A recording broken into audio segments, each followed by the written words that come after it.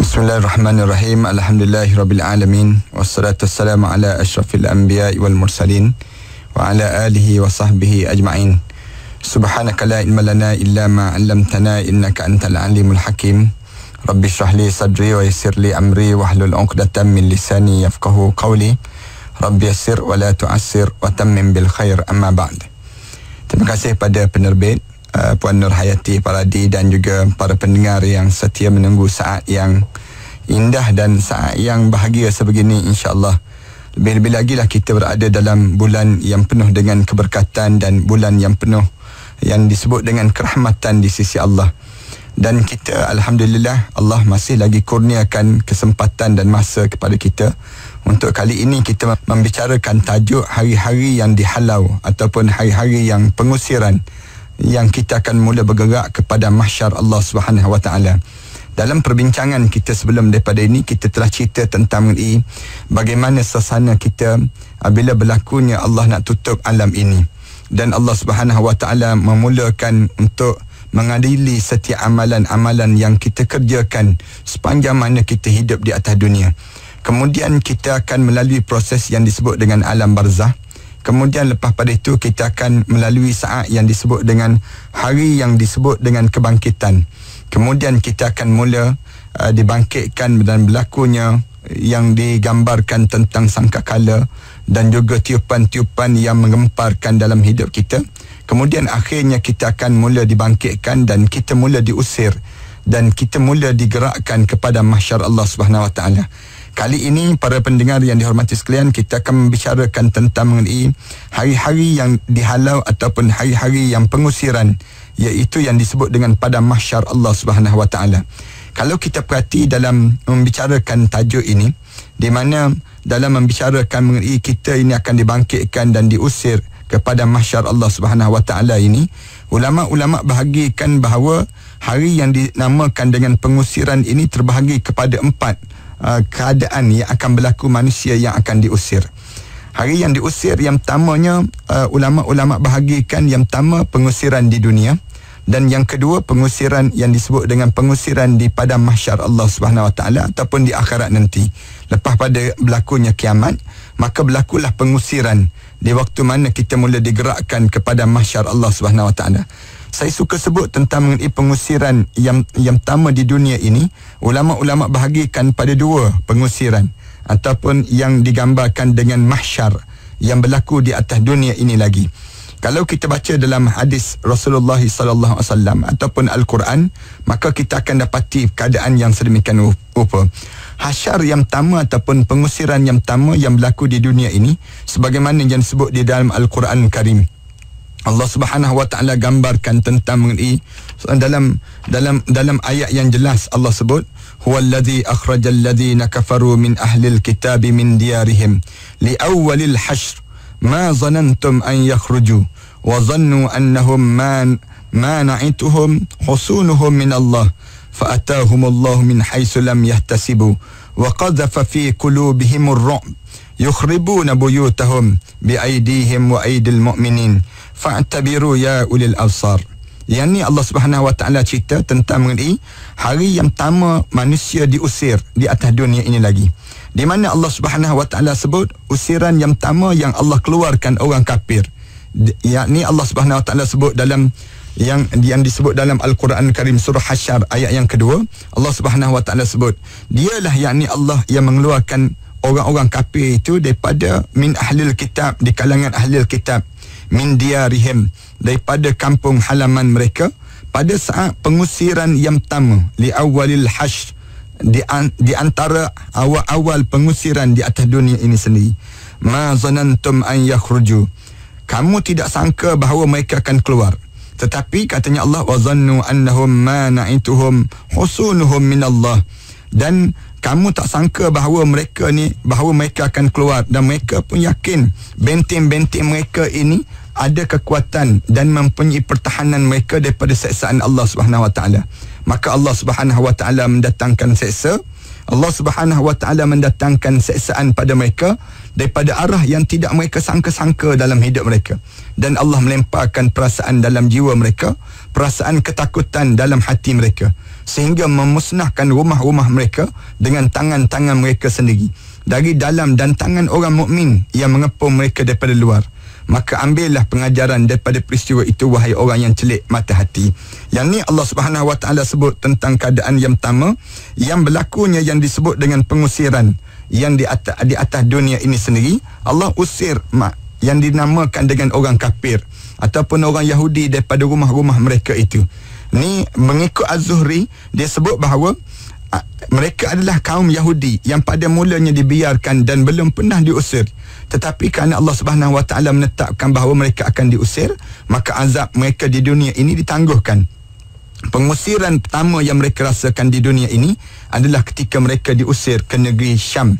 Ini usiran yang pertama Berdasar pada Ibn Abbas Ibn Abbas menyebut bahawa Orang-orang yang meragui bahawa pengusiran pertama adalah pengusiran mereka ke negeri Syam Maka hendaklah dia membaca ayat ini Kerana Rasulullah SAW telah memerintahkan mereka Keluarlah kamu semua Mereka menjawab ke mana Rasulullah SAW sabda Rasulullah SAW sebut ke bumi mahsyar Katanya Rasulullah Qatadah dia menyebut bahawa peristiwa ini adalah pengusiran yang pertama sekali yang berlaku di atas muka bumi ini sendiri.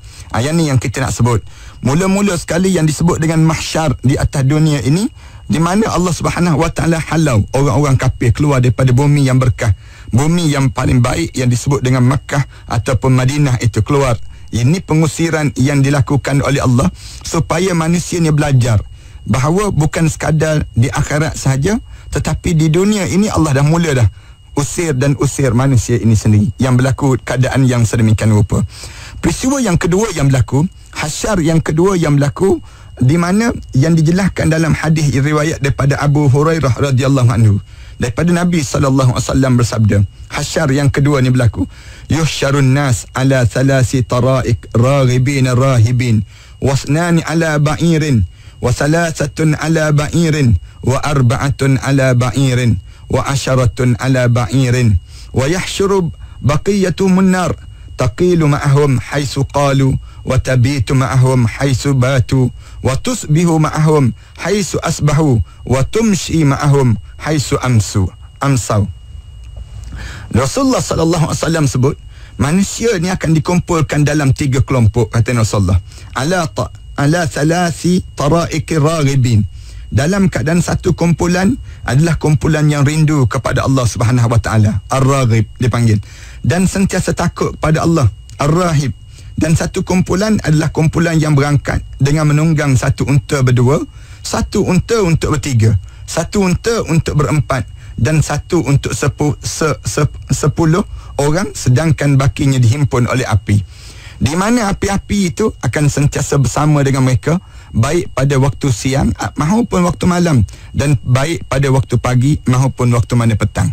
Para pendengar yang dihormati sekalian, kalau kita nak sebut hasyar yang kedua ataupun kebangkitan yang kedua ini berlaku di atas dunia lagi berdasar pada hadis Rasulullah sallallahu alaihi wasallam ini. Rasulullah sallallahu alaihi wasallam sebut had, berdasar pada hadis ni yuhsyarun nas Rasulullah kata dikumpulkan manusia maknanya berlakunya pada mahsyar pada di atas dunia ini lagi. Ni, ni dalam hadis riwayat Bukhari dan juga Muslim. Demikian juga dalam hadis yang diriwayatkan oleh Muslim dinyatakan bahawa sebagai tanda terakhir berlakunya hari kiamat adalah keluar api daripada api daripada dalam batu besar dan semua manusia lari untuk mengelakkan daripada api. Ha, ini keadaan yang akan berlaku lah. Di waktu mana kita ni, sewaktu mana, sewaktu mana hampir-hampir dunia nak ditutup oleh Allah, Allah mula kumpul, kumpul, kumpulkan manusia. Sehingga akan manusia yang bergerak dalam kumpulan masing-masing. Kalau kita baca berdasar pada hadis yang saya sebut sebentar tadi, Al-Hulaimi berkata, mungkin sabda Rasulullah sallallahu alaihi wasallam sebut tadi, Rasulullah sebut, manusia akan diusir menurut tiga kumpulan sebagai satu syarat kepada tiga kumpulan manusia. Itu satu kumpulan golongan orang yang saleh. Golongan Al-Abrar dipanggil demikian. Manusia ni akan berkumpul satu kelompok di kalangan orang saleh. Sebelum Allah nak tutup alam ini, Allah kumpulkan orang-orang yang saleh ini. Kemudian orang-orang yang satu lagi Allah kumpulkan di kalangan manusia yang bercampur mencampur amal baik dia dengan amal buruk dia. Al-Mukhalitin dipanggil. Dan golongan orang kafir. Nah, golongan orang yang saleh ni, orang yang hidup dia dalam keadaan merindui berjumpa dengan Allah Subhanahu wa taala kerana akan memperolehi apa yang telah dijanjikan oleh Allah kepada mereka ni berdasar pada amalan-amalan soleh yang mereka lakukan. Dipanggil ar-raghibun orang-orang yang nak sangat kepada Allah Subhanahu Wa Taala. Mereka juga dinyatakan ar-raghibun orang yang penuh harap dan rasa cemas kepada Allah Subhanahu Wa Taala. Ni orang yang al-abrar. Orang yang sentiasa melakukan perbuatan mulia sama seperti yang dijelaskan dalam hadis yang saya sebut sebentar tadi. Ha, ini di antara keadaan yang berlaku kepada seorang itu sebelum nak berlakunya kiamat. Allah jadikan mahsyar dalam keadaan mahsyar yang yang pertama yang kita kena faham tentang mengenai bagaimana keadaan berlakunya mahsyar sebelum berlakunya mahsyar yang besar. Kemudian uh, kalau kita baca hadis yang saya sebut sebentar tadi di mana orang-orang yang bercampur amal baik dan buruk ni adalah orang-orang yang dimaksudkan dengan hadis yang pertama tadi yang saya sebut sebentar tadi. Kemudian demikian juga golongan yang golongan yang terdapat atas dunia ni golongan yang derhaka atau golongan fujar orang yang diusir ke dalam neraka Allah Subhanahu Wa Taala. Allah Subhanahu Wa Taala akan mengutuskan malaikat untuk mengikat mereka dalam neraka Allah Subhanahu Wa Taala. Ini keadaan yang di yang disebut dalam hadis Rasulullah sallallahu alaihi wasallam tadi. Kalau kita baca lagi dalam riwayat daripada Abu Hurairah radhiyallahu anhu bahawa Rasulullah sallallahu alaihi wasallam bersabda seluruh manusia akan diusir katanya Rasulullah sallallahu alaihi wasallam. Manusia ni akan dihalau. Seluruh manusia akan dihalau. Akhir hadis itu dinyatakan orang yang bertakwa pada wajah mereka kelihatan tinggi dan mulia. Ha, Rasulullah sallallahu alaihi wasallam sebut. Hadis ni uh, di, di, digambarkan menjelaskan bahawa orang yang akan menunggang unta adalah orang-orang yang diampuni dosa dia oleh Allah Subhanahu wa taala. Ketika mana dihisap oleh Allah Subhanahu wa taala, dia tidak diazab, dia tidak azab sama sekali. Sekalipun tahap mereka di syurga berbeza-beza, ada yang tahapnya paling tinggi dan ada pula orang yang sama-sama berada pada tahap paling bawah di, di, di kalangan ahli syurga Allah Subhanahu Wa Taala itu. Ini golongan yang pertama lah. Di atas dunia ni sebelum mana berlakunya hari kiamat akan berlakunya yang disebut dengan pengusiran orang-orang ni. Dia akan berkumpul satu tempat, satu tempat orang saleh dan kemudian Allah matikan orang saleh ni tinggal orang-orang jahat saja. Kumpulan kedua adalah orang-orang yang hidup orang yang akan diazab oleh Allah Subhanahu Taala kerana dosa-dosa mereka. Yang mereka lakukan. Tapi kemudian dikeluarkan daripada neraka lalu dimasukkan ke dalam syurga. Ini kumpulan yang kedua. Mereka kelak akan berjalan dengan kaki ayam. Mereka ni boleh juga berkemungkinan mereka ni satu ketika berjalan dengan kaki dan satu ketika menunggang unta. Ataupun menunggang unta setelah mana setelah dekat dengan padang mahsyar. Mereka turun daripada kenderaannya dan dia, mereka berjalan dengan kaki mereka sehingga terdapat kesesuaian antara kedua hadis ini hadis yang tidak bertentangan kemudian kumpulan yang ketiga yang dimasukkan dalam yang dinamakan dengan uh, golongan-golongan yang diusir ini oleh orang-orang yang berjalan dengan muka mereka iaitu golongan-golongan orang yang kafir. Golongan yang tiga ni berjalan dengan muka mereka tersebut. Dengan muka-muka mereka mereka bergerak. Dan bergerak dengan dengan muka ini sendiri. Ha, ini yang menyebabkan alim ulama berbincang tentang perkara uh, perkara demikian ini sendiri. Usir api yang berlaku di dunia ni bukan setelah mana kiamat berlaku. At-Tirmizi meriwayatkan hadis daripada Abu Hurairah radhiyallahu anhu bahawa Rasulullah sallallahu alaihi wasallam bersabda, manusia akan dikumpulkan pada tiga kumpulan pada hari kiamat. Rasulullah sallallahu alaihi wasallam sebut, iaitu yang pertama kumpulan pejalan kaki kata Rasulullah. Rasulullah cerita kumpulan yang start daripada waktu mana hidup sampai di akhirat ni kumpulan yang jalan kaki. Yang kedua Rasulullah sebut kumpulan yang yang berkenderaan dan yang ketiga Rasulullah sallallahu alaihi wasallam sebut manusia yang dihimpun dan di, diusir ini kumpulan yang berjalan dengan muka-muka mereka sendiri. Kemudian sahabat tanya Rasulullah, "Ya Rasulullah, bagaimana mereka yang akan berjalan dengan muka-muka mereka ini ya Rasulullah?" Sahabat-sahabat jadi pelik. Boleh ke hidup waktu mana berjalan dengan muka sendiri ya Rasulullah? Lalu Rasulullah sallallahu alaihi wasallam jawab, "Yang berkuasa menjadikan mereka berjalan dengan kedua kakinya berkuasa pula menjadikan mereka berjalan dengan mukanya. Sedangkan orang yang bertakwa, kata Rasulullah, pada wajah mereka kelihatan berada pada kedudukan yang tinggi dan juga mulia di sisi Allah Subhanahu Wa Taala. Para penonton yang dihormati sekalian, apa yang saya sebut sebentar tadi berdasar pada hadis-hadis Rasulullah sallallahu alaihi wasallam, Rasulullah gambarkan waktu mana hidup di atas dunia ni lagi berlakunya penghalauan ataupun yang disebut dengan pengusiran manusia. Dalam keadaan sebelum daripada berlakunya kiamat akan berlaku tiga kelompok yang Allah jadikan. Satu kelompok kelompok orang yang hidup dalam keadaan saleh yang jaga dan kita berdoa pada Allah lah mudah-mudahan kita di antara orang yang hidup dalam keadaan yang jaga amalan Ya tak mudah nak jaga amalan di saat mana kita berada di hujung zaman. Kerana ramai orang lebih tertarik dengan urusan dunia dibandingkan tertarik dengan urusan akhirat. Ha, bila kita nak tarik diri kepada urusan dunia, nak tarik daripada dunia kepada akhirat, kita memerlukan kekuatan yang kuat di kalangan setiap di kalangan kita. Setiap di kalangan kita ni kena ada kekuatan yang tersendiri. Kekuatan yang disebut dengan amalan-amalan, kekuatan ilmu dan sebagainya. Saya pernah sebut kan, dalam hidup kita ni kalau kita nak berubah, maka kita perlu kepada tiga perkara yang utama dalam hidup kita. Yang pertama, perubahan dalam hidup kita nak jadi soleh ni, kita kena ada ilmu. Ilmu ni kena ada untuk kita jadi orang yang pertama ini sendiri.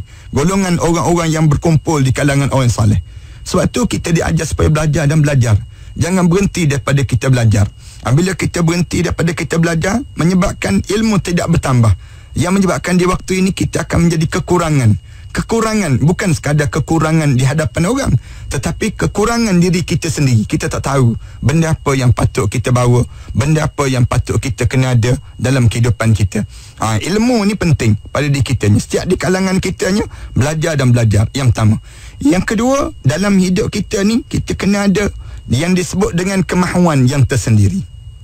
Ha, nak berubah dalam hidup menjadi orang soleh saya dah sebut sebelum daripada ni. Bagaimana kita kena ada himmah Himmah ni maknanya kemahuan yang kuat dalam hidup seorang. Ramai orang tahu perlu berubah tapi tak ada kemahuan untuk berubah. Nak menjadi orang yang saleh. Akhirnya dia bercampur amalan dia menjadi kumpulan yang kedua. Kumpulan yang kedua ni apa dia? Kumpulan yang mukhtalid. Bercampur di antara amal saleh dengan amal yang taleh dalam hidup. Kadang-kadang kita berjumpa pelik orang yang disebut dalam hadis Rasulullah sallallahu alaihi wasallam ada orang yang akhir zaman nanti kamu akan jumpa yusbihur rajulu mu'min wa yumsi kafiran. Pada waktu pagi dia orang mukmin pada waktu malam pula dia jatuh kafir ada orang yang hidup dalam keadaan yang dia nya pada waktu malam dia mukmin pada siang hari jatuh kafir jangan demikian. Yubi'uddinahu bi'aradin minad dunya orang ni hidup dalam keadaan memperdagangkan keuntungan yang disebut dengan dunia. Dia jual segala agama-agama dia untuk dapatkan keuntungan dunia. Dalam hidup kita tidak demikian. Orang yang hidup dalam keadaan yang jelas, fokus kita. Fokus supaya kita kalau berlakunya saat mana nak berlakunya hari kiamat, lalu dikumpulkan di kalangan orang saleh. Bukan orang yang mukhtalid, orang yang bercampur gaul sekejap jadi baik, sekejap jadi jahat. Sekejap jadi dalam keadaan yang saleh, sekejap menjadi manusia yang taleh. Bukan demikian. Tetapi kita diajar supaya kita jaga. Jaga amalan-amalan kita ini supaya kita dalam keadaan yang kita ni benar-benar terjaga termasuk di kalangan orang yang saleh. Sehingga kan kita kitanya masuk di kalangan orang yang Rasulullah sallallahu alaihi wasallam sebut orang yang naik kenderaan berkenderaan melalui titian sirat orang yang berkenderaan di padang mahsyar Allah Subhanahu wa taala nanti ada yang berjalan kaki Rasulullah sebut. Dan ada yang berjalan dengan muka sendiri. Ha, bila tanya oleh sahabat-sahabat macam mana Rasulullah?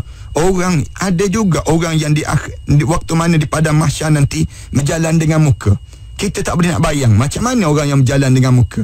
Lalu Rasulullah sallallahu alaihi wasallam sebut Rasulullah kata ada pun orang yang boleh berjalan dengan kaki itu diciptakan oleh Allah demikian juga Allah jugalah yang boleh menciptakan manusia berjalan dengan muka sebab apa berjalan dengan muka ni?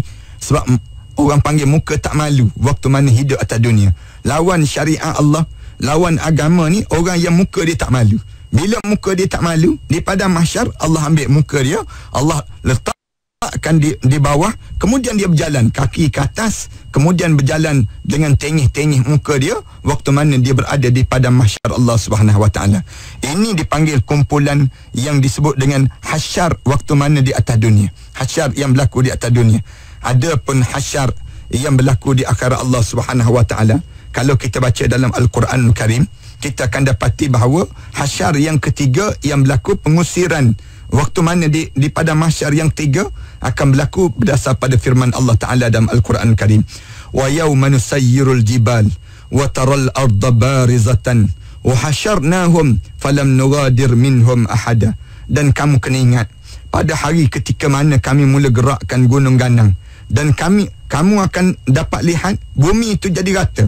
Dan kaminya wa hasyarnahum dan kami mula kumpulkan manusia itu tidak tidak kami tinggalkan seorang pun di kalangan mereka falam nugadir minhum ahad Kemudian kamu tidak dikumpul, tak ada seorang pun yang tertinggal waktu mana kamu dikumpulkan dalam keadaan di pada mahsyar Allah Subhanahu Wa Taala nanti. Ha, ni ni bang kebangkitan yang akan berlaku pada kita. Kalau kita baca dalam hadis Rasulullah sallallahu alaihi wasallam. Rasulullah sallallahu alaihi wasallam pernah satu hadis yang diriwayatkan oleh Ibn Abbas radhiyallahu anhu. Rasulullah sallallahu alaihi wasallam sebut, "Qama fi fina Rasulullah sallallahu alaihi wasallam bimau'izatin." Pernah satu ketika Rasulullah berdiri Kemudian Rasulullah berdiri di kalangan kami katanya Ibn Abbas, Abdullah bin Abbas itu, Rasulullah bagi mau'izah yang kita sebut nama mau'izati ini. Bimau'izatin dengan satu peringatan yang kuat. Rasulullah sallallahu alaihi wasallam sebut apa dia? Faqal Rasulullah kata, "Innakum mahsyur mahsyuruna hufatan uratan ghurlan kama bada'na awwala khalqin nu'iduh wa'dan alaina inna kunna fa'ilin wa awwalu yuksa yaumal qiyamah Ibrahim. Katanya Rasulullah sallallahu alaihi wasallam Rasulullah duduk dengan sahabat-sahabat. Cerita Ibn Abbas dia kata, Rasulullah duduk dengan kami. Rasulullah bagi satu peringatan yang terkesan dalam jiwa kami. Lalu Rasulullah kata apa dia? Kamu semua ni akan dikumpulkan di pada mahsyar Allah. Dalam keadaan hufatan uratan. Dalam keadaan kamu ni tidak beralas kaki dan telanjang. Tak ada apa-apa yang kamu pakai. Uratan ghurlan. Dalam keadaan yang kamu tidak di, disunatkan tidak berkatan pada kamu di waktu itu.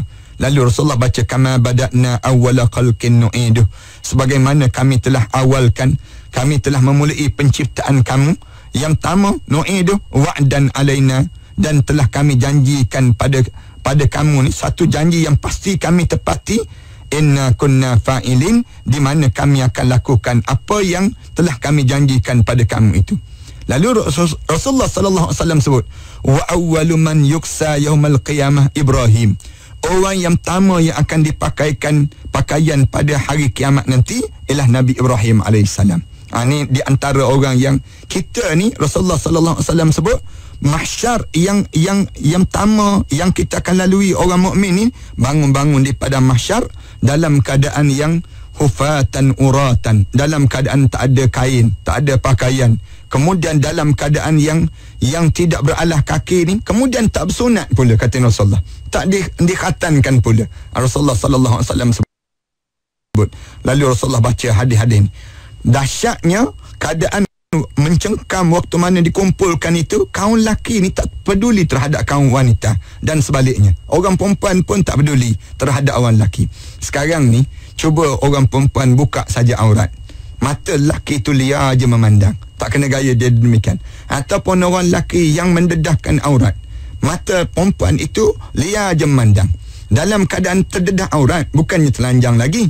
Tapi cuba bayangkan di pada mahsyar di padang mahsyar tu manusia dalam keadaan yang dikumpulkan.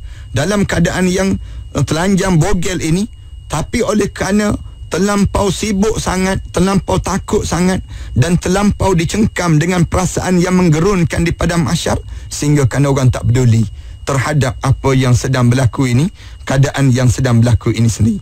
Uh, kan dahsyatnya saat itu.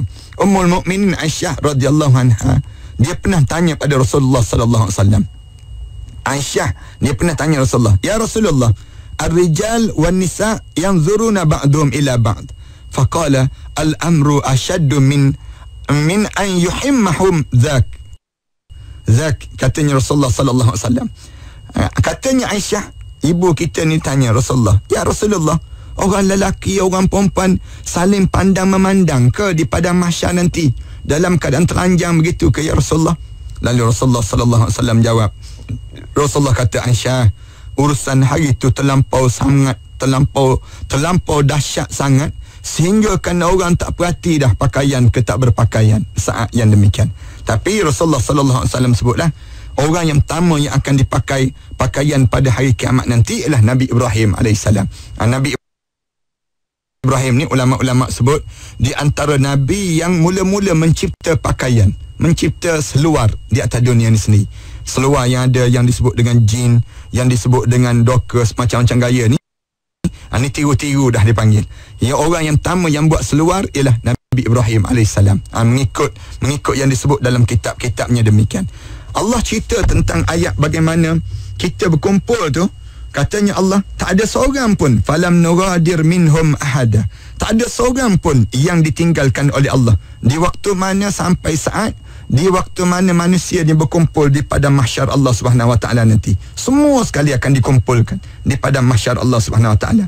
Kemudian dan yang akhir sekali hasyar kita waktu mana kita mula diusir ke dalam syurga ataupun dihumban ke dalam neraka Allah Subhanahu Wa Taala.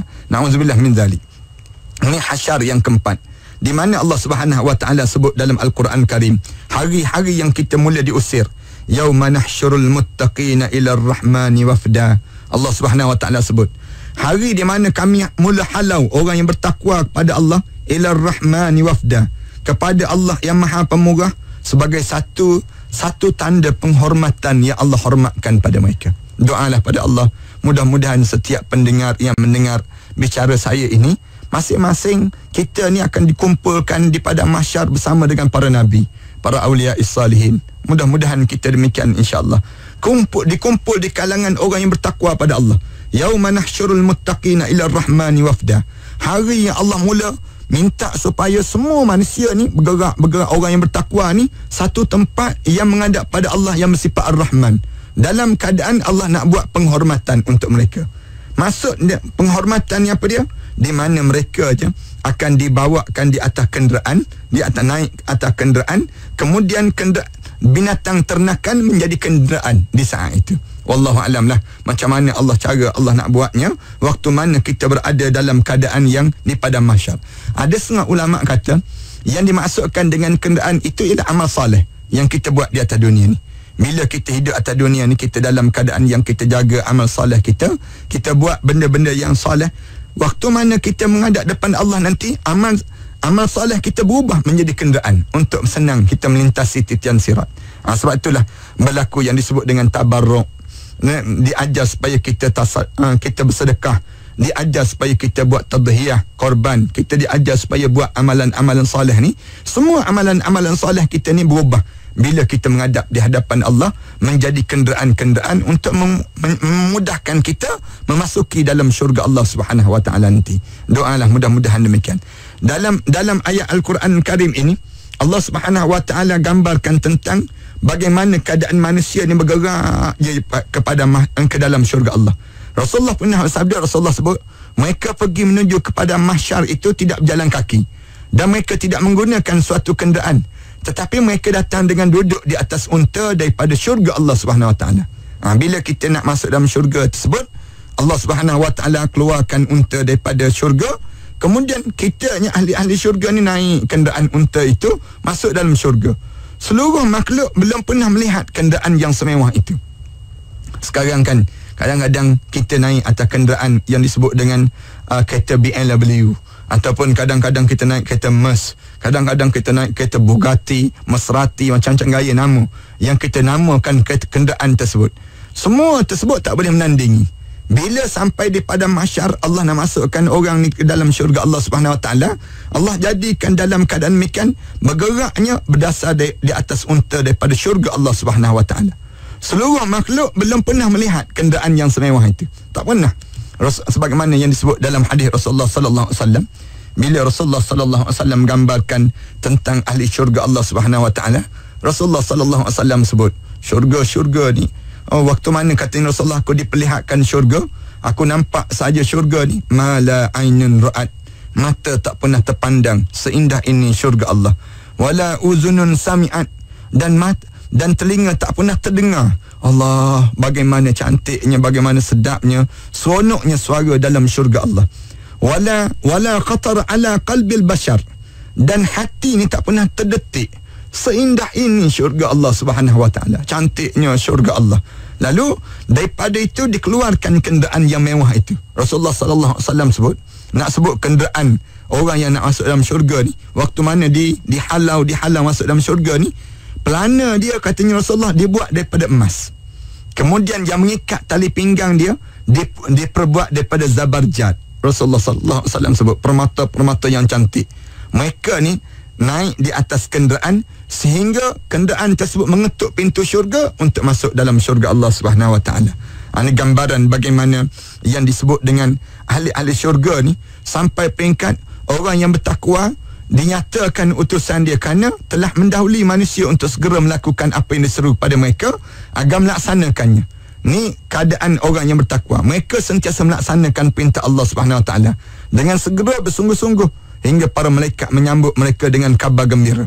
Allah Subhanahu Wa Taala sebut dalam surah Al-Anbiya ayat 103. La yahzunuhumul faza'ul akbar wa tatalaqahumul malaikatu hada yaumukum alladhi kuntum tu'adun kejutan yang dahsyat telah dibuat pada mereka tidak membuat mereka ni rasa sedih.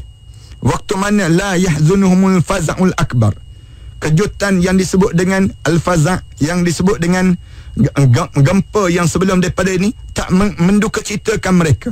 Wa tatalaqahumul malaikah. Tapi orang-orang yang orang-orang ahli syurga ni mereka ni akan disambut oleh para malaikat dengan kata-kata hadza yaumukum alladhi kuntum tu'adun. Inilah yang telah dijanjikan oleh Allah kepada kamu waktu mana kamu hidup di atas dunia dahulu. Padahal baru je lepas melalui saat gempa ataupun yang disebut dengan hari berlakunya uh, yang dinamakan dengan fazaul akbar. Fazaul akbar ni kejutan yang menggemparkan. Tak orang mukmin ni dirasa seronok dalam keadaan demikian. Ha, ini dipanggil hasyar yang terakhir dalam hidup manusia masuk dalam syurga. Kemudian hasyar untuk ahli neraka Allah Subhanahu Wa Taala sebut dalam surah Al-Maryam ayat yang ke-86. Wa nasuqul mujrimina ila jahannam wirda dan kami akan halau orang orang yang derhaka ke neraka jahanam dalam keadaan dahaga yang amat sangat. Nauzubillah min dzalik. Ah ni gambaran bagaimana orang yang orang yang yang derhaka pada Allah Subhanahu Wa Taala mula Allah Subhanahu Wa Taala mula halau. Halau halau mereka ni dalam keadaan yang mereka ni sendirinya der, der, derhaka tersebut menyebabkan mereka dahaga dahaga yang amat sangat. Firman yang lain Allah Subhanahu Wa Taala sebut yauma yunfakhu fis-sur wa nahsyurul mujrimina yauma idzin zurqa hari yang di waktu mana ditiup sangkakala itu kami akan kumpulkan pada hari itu orang-orang yang berdosa ini mujrimin yauma idzin zurqa dalam keadaan muka dia menjadi biru muram dalam keadaan yang ketakutan pada mereka tersebut. Nauzubillah min dzalik.